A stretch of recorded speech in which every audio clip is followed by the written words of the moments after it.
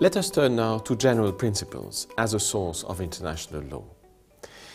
You may remember that among the sources of international law listed by Article 38 of the ICJ statute, paragraph 1c refers to, I quote, the general principles of law recognized by civilized nations. This sentence is taken from the Statute of the Permanent Court of International Justice. And as you know, that statute was drafted in 1920, and this explains the reference to civilized nations, which sounds very Eurocentric and pretty outdated by now, since all nations are today presumed to be equally civilized. Back in 1920, about a century ago, international law was not as much developed as it is today, and therefore the problem that the drafters of the PCIJ statute were facing was the issue of non-liquet. That is, the situation where the court would be asked to decide a case but would not find any treaty nor any rule of customary international law to be applied to the facts of the dispute. And a court of law cannot simply say, I have jurisdiction, but I cannot judge this case because there is no law to be applied. So the concept of general principles of law was introduced to fill the gaps, as it were, the gaps that could be left in case there would be no relevant treaty or custom.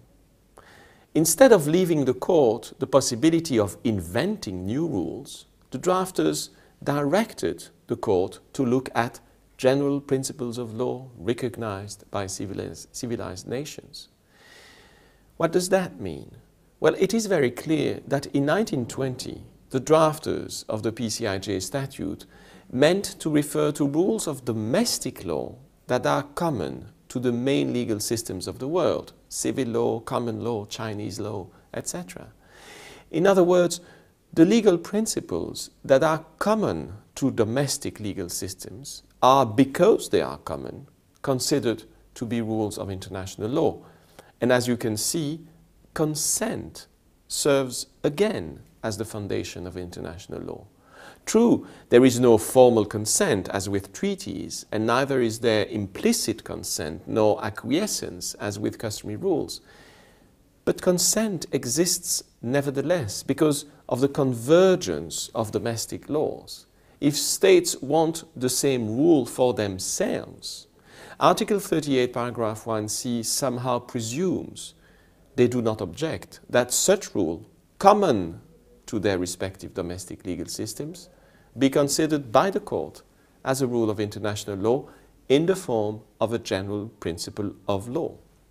At the same time, general principles transcend the issue of consent understood in a very narrow and positivistic way.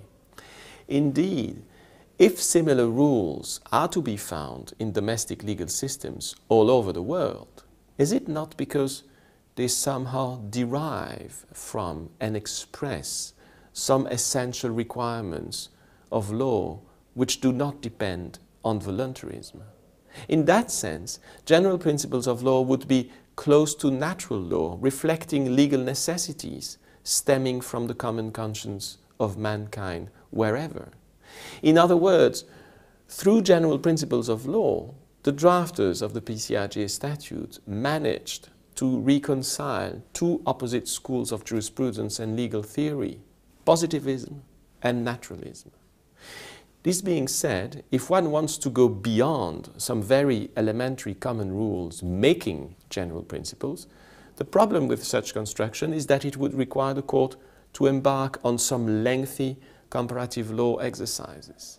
This could prove very difficult due to the increase uh, in the number of states and of the domestic legal systems that would have to be taken into account and compared. Moreover, it would consider considerably slow down the procedure if conducted in a very rigorous uh, uh, manner. Well, hopefully, and because general principles were conceived as having a subsidiary character and apply in the absence of treaty or custom, the extraordinary development of international law through treaties and through customary rules has limited the need to rely on general principles within the meaning of Article 38 to find rules filling the gaps, as it were, in the system of international law. However, if you read carefully judgments of international courts and tribunals, notably those of the International Court of Justice, you will notice that the words general principles are very often used. But most of the time, by those words, the courts actually refer to customary international law. And instead of referring to general principles of law, as in Article 38, the judgments very often refer to general principles of international law. By this, it is the importance or the well-established character of the customary rule at stake that is emphasized. Different words are used, but they point to rules having the nature of customary international law. By the same token, Article 2 of the UN Charter, for instance, lists principles according to which the UN must act, and those principles include customary rules. Also, the United Nations General Assembly adopted in 1970 a declaration on principles of international law concerning friendly relations and cooperations among states, which the International Court of Justice has considered to reflect customary international law. The court has notably said so, first in the Nicaragua versus the United States case, and then in the advisory opinion on the unilateral declaration of independence in respect of Kosovo. So there is nothing problematic in using the words principles or general principles when actually speaking about custom. Sometimes the words general principles of international law are used to refer to an axiomatic principle of international law, a principle without which international law would not be what it is. For instance, the equal sovereignty of states, or pacta sunt servanda, etc. But there again, such basic principles have also a customary character. In the following readings, you will see uh, how the words general principles are used in various ICJ cases, and this will serve to illustrate this video.